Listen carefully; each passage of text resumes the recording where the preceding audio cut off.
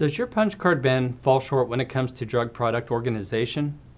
Is it easy for you to find the punch card you're looking for, or do you have to flip through each card one by one to find the one that you want or you need?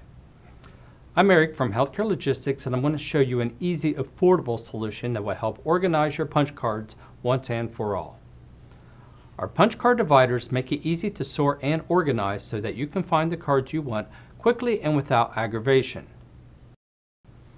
Designed to fit easily into our punch card bins, just label your divider with a printed label or marker and place it in the location just as you would a file folder into a drawer.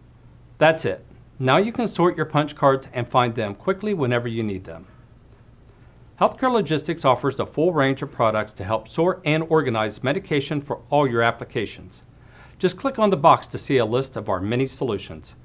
And don't forget to click on subscribe to receive a notice of future video updates. Thanks for watching.